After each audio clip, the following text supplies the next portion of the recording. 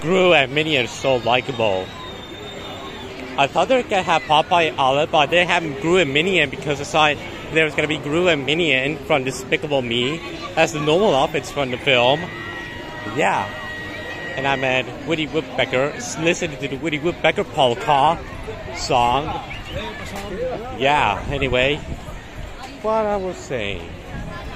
And, and I swear to God, there is actually, not, there is actually one person who took Adventure Time way too seriously, which I'm not going to show its name because I don't want to get spelled. Oh, there's Chartered Science Rodeo. I'm going to that right right now in a while. So yeah, well, I'm gonna end it here because I I forgot one thing I was doing for topic stuff on my brain. On my brain, anyway.